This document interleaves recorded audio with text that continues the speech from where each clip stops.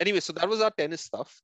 Moving on from tennis, we haven't spoken about the IPL, and I think this was the this was uh, perhaps an IPL, a 10 team IPL after some time. I think there was once before, but then those two teams got uh, cancelled out. So now this is another 10 team IPL uh, with two new entries uh, with Lucknow and Gujarat. And we have Gujarat. I think that their full full form is Gujarat Titans. They have won the IPL. Uh, it's their first ever IPL, and they won the IPL. And we have Hardik Pandya as captain. And they've honestly, I think, I think they've they've been exceptional in their group stages. Also, they were winning like almost every single game. I think they ended up first in the group, and then they went on to win the IPL.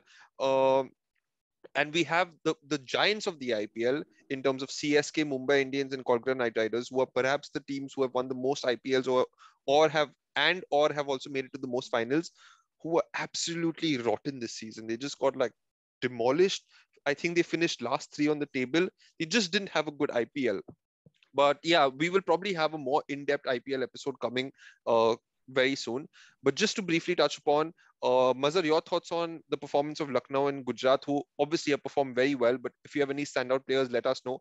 And quick, brief thoughts on why do you think CSK, Mumbai Indians, or KKR had such a like bad season?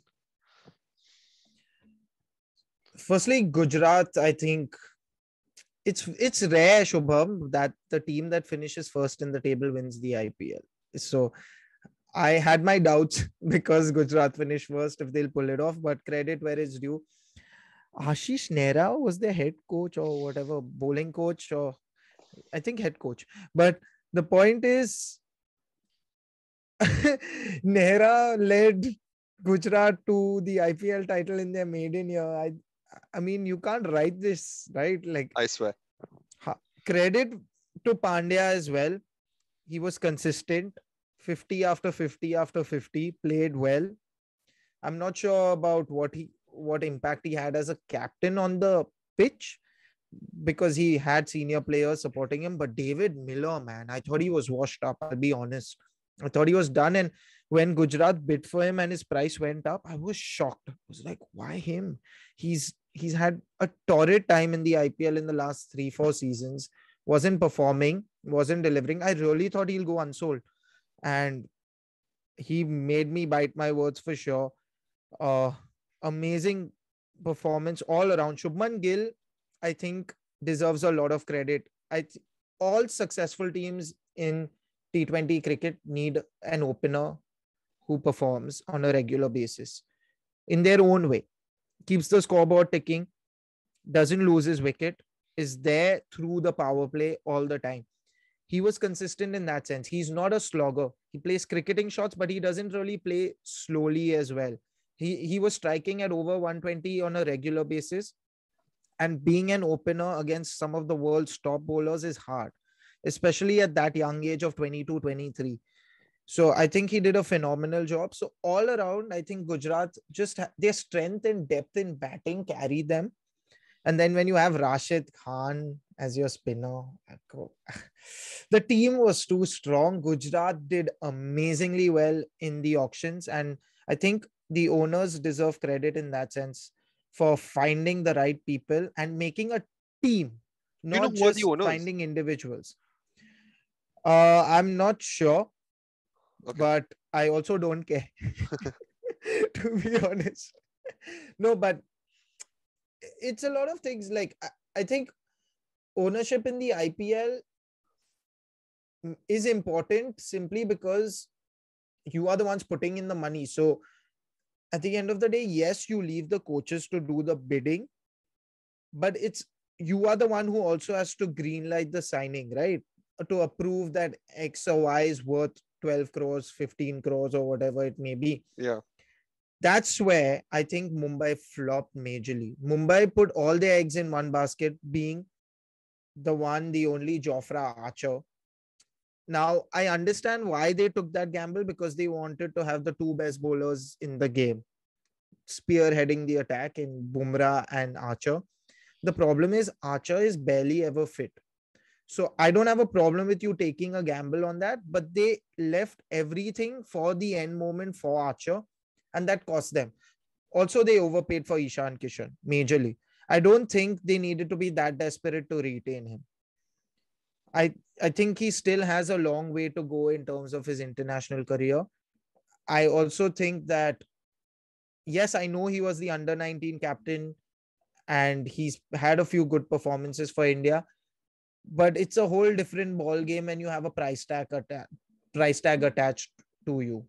Uh, subconsciously, even if it doesn't matter to him, subconsciously it definitely affects you. He was the most expensive pick this IPL. That he flopped. Mumbai altogether flopped because they I don't think they had a strong enough team. It was literally just Surya Kumar Yadav who was performing regularly. Rohit Sharma historically has not been great in the IPL. So it doesn't help. He's a great captain, a great leader in that sense. I think he knows how to set fields. I think he makes good bowling changes. So I think Mumbai flopped because of that. Additionally, KKR and Chennai, I think Chennai were unfortunate and unlucky. What happened was Devon Conway didn't play the first few games of the season, actually half of the season, more than half of the season, because I think because of his marriage. I would only want to assume that was the reason he didn't play.